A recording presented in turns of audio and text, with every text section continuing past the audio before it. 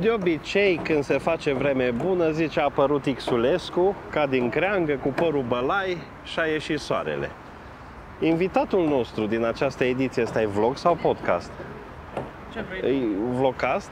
uh, A apărut și a început să plouă, dar acum s-a mai limpezit. Doamnelor și domnilor, direct de pe columna lui Mate- Lui Matei Corvin. Corvin. Ionuț Rusu. Nu mai are nevoie de prezentare. Mai fi surprins. Un nume atât de comun pe undeva, dar acum a devenit comun cu comedia. E n- comedia și primăria Constanței. Și primăria Că Constanța. două... Cred că e mai celebru un pic. Un pic cât de cât. Suntem în Piața Unirii, când e festival aici în centru, e Piața Urinii, nu contează. Aici oarecum a debutat în lumea mare domnul Ionuț Rusu. Aici ai făcut facultatea. Aici, da, chiar la... Aici la terasa.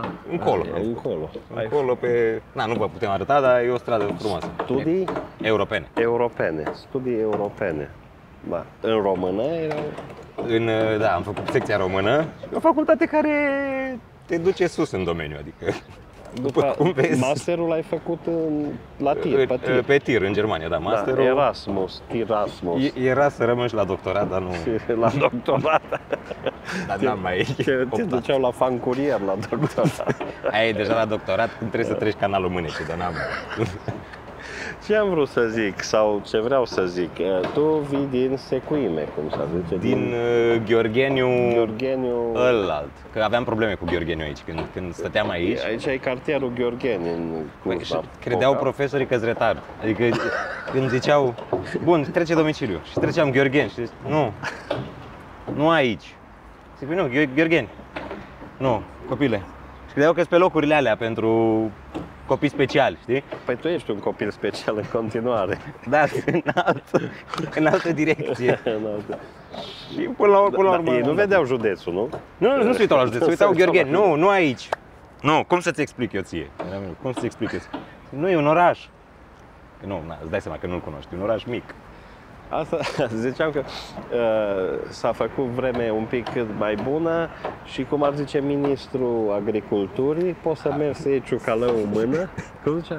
Domnul Daia? Cum îl imităm pe domnul Daia? Mamă, mi se pare un personaj E atât din- de așa-i? bun, dar, dar aș, vrea să, aș vrea să facă mai multe tâmpenii. Mi se pare că e limitat la tâmpenii, adică tâmpenii. La gafe. Cormoran. Cormoranii aia au fost foarte bună, dar scoate rar. Și acum au mai fost ceva cu se fac, nu știu ce, grânele sau dacă plouă se fac, știi că au avut o replică de genul ăsta, dar rar. Da. Și dacă le dai rar, nu intri în atenția publicului așa. Așa că dacă iei ciucalău în mână, îl simți fierbinte și te încălzește. Dar e greu de imitat, acum mai imit și eu câteva personaje. Îi dai dar bun. E, e bun, așa E bun, Tu ai puțin. imitat sau imiți în continuare și personaje feminine. Da, da, sunt preferatele mele. Denis Rifai, Denis Rifai, Budeanu, uh, Șoșoacă mai era, care Mhm. din nou sunt dezamăgit că nu mai... nu mai nimic. Acum să vedem după nunta lui... Lui George Simion. Da, da. Ia Da. o să ducă ceva legume sau ia leguma. Dar nu cred că a fost chemată, că e certați. Îți certați. Adică ea e acum în altă extremă. E, e cu fundul sau fundurile, nu știu ce are, în altă luntre. Fundurile europene, dar în altă. Uh, un pic din rifai cu buzele tale, te rog, un pic din... Acum Ai tragem un- de tine. Acu... Bună seara, domnule Nicu Bendea. Ai știi că m-a sunat la un moment dat. Serios? Da, da. Și? M-a sunat și uh, eu știam că o să mă sune. îmi zice, îmi zice, bună ziua Ionuț, știi cine sunt? Și eu i-am zis intenționat, nu știu, doar ca să se prezinte ca la emisiune, știi că ea mereu se prezintă în emisiune. Trebuia Zic, să... Ești Andreea Esca? nu, și zice, sunt uh, Denis Rifai. Bun, gata, știam, dar am vrut să te aud cum zice asta. Și ce ți-a prezentat? Ce ți-a Și mi-a zis spus? că i-au plăcut foarte mult uh, parodiile la adresa ei Nu i-au plăcut. Că am aflat de la alți oameni că nu i-au plăcut. și vreau să, poate la un moment dat o să te invit în emisiune să facem, nu știu ce, și să... 40 de întrebări. 40 de întrebări. Era... Și după aia văzuse, văzuse unul din episoade, că i-au văzut alea, pe alea cu minți. Ea le-a văzut pe alea cu minți. Și l-a văzut pe ăla mai răutăcios și atunci... Au zis că poate când schimb uh, postul Da. O de căcat, au sunat. Cu cine ai început? Cu ce personaj ai început să imiți? Sau imitai, ca fiecare imitai cunoștințele, apropiații, prietenii, nu? Da, da, aveam cunoștințe și prieteni în Gheorgheni. Ce pe păcat care că îi nu-i imitam. putem transpune Vai, dar nu, mie mi și frică. Că mulți sunt uh, mai bătăuși. Că eu voiam să-i creez ca personaje așa. Și în Gheorgheni aveți bătăuși? Crede Ne-am plecat. Cu, cum e bancul ăla secuiesc? Cum e bancul uh, berea nu-i băutură, ursul nu-i de Ursul jucărie nu-i și jucărie. femeia nu-i om. Nu eu. Secuiesc, nu, nu e Secuiesc, se secuiesc. Se Secu- știe, da, de la secu. Da, am început așa și cred că personajul primul notoriu a fost Iohannis, cred. Cred că da. Greu de De imitat. realizat facial, dar de imitat îți iese unul la unul. Ușor. Nu, e foarte simplu. Cum, cum a dus el țara noastră, nu e pe locul Nu mai știu. 27. Un Clasament bun. Bun. Când Și erau acum- 27, când 28. 28.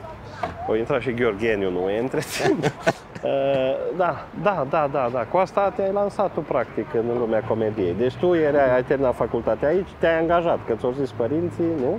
Da, îți dai seama, la inițiativa, mă rog, inițiativa Paterno-maternă. obligațio. Cât ai fost șofer de tir? Cât timp? Cred că aproape, aproape 2 ani. Aproape 2 ani. Te opreai la curve sau numai mergeai la... Păi, uh, băi, Da, voiam, a nu, nu, fost- voiam, voiam, chiar am vrut, dar n-aveam curaj, mi-era rușine. Dar chiar, chiar voiam, mă uitam cu jind la ele, te mira așa. Aveai brădus la oglindă. Uh, nu, dar aveam uh, numărul ăla, dar nu era numele meu niciodată. Era Loții sau ceva, eu nu eram șofer Era firma titular. de acolo, de la Da, și eu nu eram șoferul titular pe mașină. Eu eram uh, șoferul de schimb mereu. Cascadorul. Eu exact, îi schimbam pe ăștia. Eram sub obiceiul. Erai sobice. Zi-mi un pic din piersi. din persic. e- Pe, acum și răgușit, nu-mi permit că și la Matiaș, te pup! da, eram sub obicei al tirului. Îi schimbam, îi schimbam mereu pe ăștia. Când, când era ceva mai greu, trebuia să mă duc eu. Nu eram foarte bun, asta e, că mereu am zis asta. Un an și cât ai? Cred că un an și șapte, opt luni, cam așa. Pac și ai fost, ai văzut anunțul cu cronica cărcotașilor Și am plecat direct din Austria. din Austria. Din Austria am plecat... uh, Am Și venit- Băsescu a fost în Austria. Aveai probleme cu coloana, erau tirurile în coloană. Și de aici tu simțeai, te atrăgea chestia asta? Da. Ce te, comedia sau sticla? Ce te... Uh, Sticla ecran. come- comedia pe sticlă, adică Comedia. practic combinația asta. De, de la Mondeni am început să, să fiu foarte pasionat. Că primul, primul personaj pe care l-am făcut așa în casă a fost, era Emery Cheney, îmi plăcea mie. Emily Căieri. Milichinei, da, îmi plăcea foarte mult. Howes, Howes la rep. Howes, când îmi pasă. Dragoș Stoica foarte bine limitat. Ce, Excelent. E la radio acum am înțeles, dar e un, un uh, și mă impresionat că el, un om așa spre 2 metri, cum îl limita pe Becali. Da, păi el l-a creat.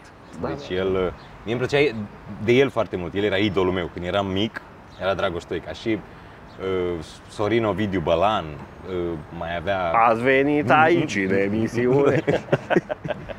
și mulți, Dinescu, adică crease multe, multe personaje. Nu pare rău că nu mai e pe, pe da, sticlă. da, da, da, da. Bă, uite, că noi românii nu avem uh, sentimentul ăsta sau simțământul ăsta al retragerii la un moment dat.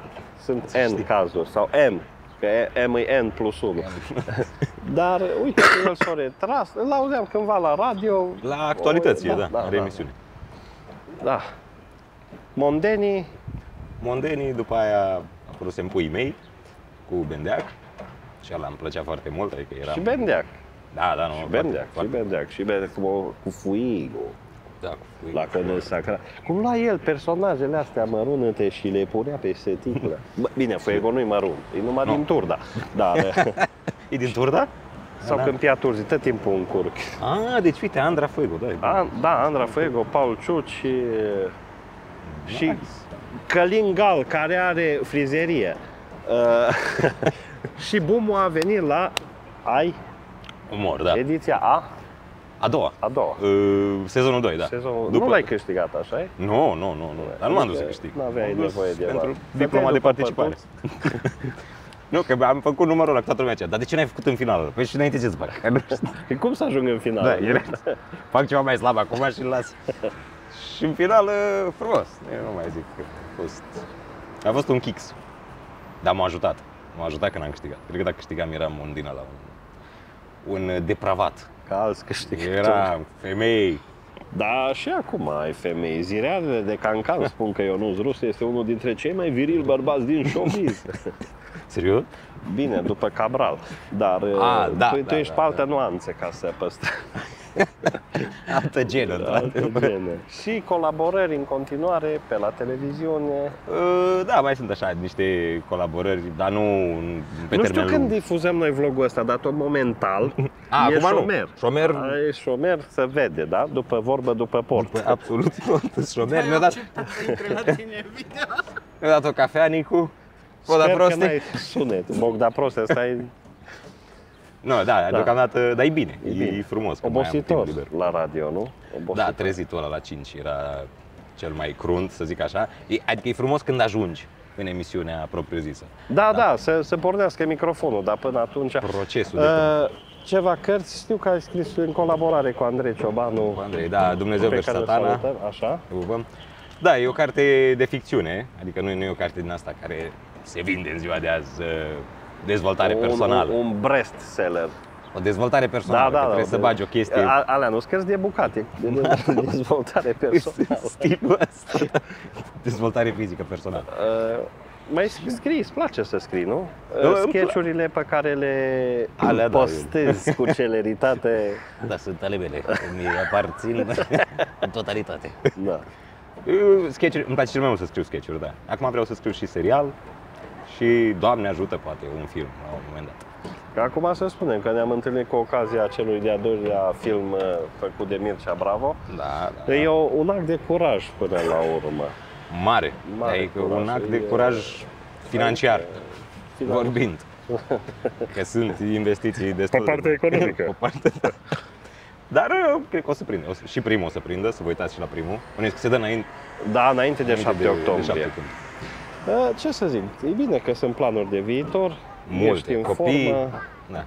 Copii, nu, poți să-i faci și fără femeie, că acum să mai... prac- Apropo, statusul tău marital care este? Cum a... Acum e, e, în momentul în care filmăm vlogul, că la mine este tot în cer, e cum- nu single, non-single. Da, adică Adică dacă ai casă aciuat. în voluntar, ai Apartament, nu, să nu exagerăm. apa, apartament, vorba aia, să ai lângă cine sta la căldurică din punct de... E greu să te înțeleagă o femeie, mai ales în domeniul ăsta pe care îl practicăm noi, nu? Adică... Și fără în domeniul pe care îl practicăm noi. În general, E greu să te așa. înțeleagă o femeie, da? Greu. Cred că atât a- aici s-ar... E greu. E, e foarte greu, da. Dacă Sunt ne niște lași- ființe Păi, superioare. Ionuț Rus, am vrut să termin acum. Zi, dați eu, sunt niște ființe superioare. Sunt, sunt peste noi, adică au un alt nivel de înțelegere a lucrurilor decât noi. Și faza când, când ești cumva o persoană cât de cât publică, e nasol când te cuplezi cu cineva că îți descoperă nenorocirea din tine și descoperă omul ăla, știi? Care ca în Survivor. Te reduce la statusul de La statusul ăla de- bărbat mediocru. Da, da? ai, lasă-mă că nu știu, că mu- multă lume îi mai zice și iubitei mele, mamă, cred că mori de râs cu el. Ceea ce la ea e plictisitor, vai de capul lui, nu, nu vorbește Și când se pune la birou să scrie acolo... Oh, Tu scrii în română? În română? nu, eu traduc din maghiar. Apropo, cum mai stai cu limbile de la maghiarul? A, să știi că am uitat mult. Ție dau pâine dacă ceri în română când te întorci în uh, orașul de Baștină? Eu nu cer pâine, am învățat să nu cer pâine niciodată. Eu cer uh, biscuiți de aia de orez. De asta mă surprins mereu că toată lumea cere pâine când merge acolo, nu înțelegi? Se cuine. De unde apetența asta pentru pâine? Mereu mergi la o pâine, că stai aici. Nu, cred că Luați-vă se- altceva, oameni buni. să-i testeze. Uh, uh, luați-vă tastatura și dați un like și un share la acest vlog făcut alături de Ionuț Rusu. Deși tânăr, deja legendă. Și tânăr, deja bătrân pe interior. Perse.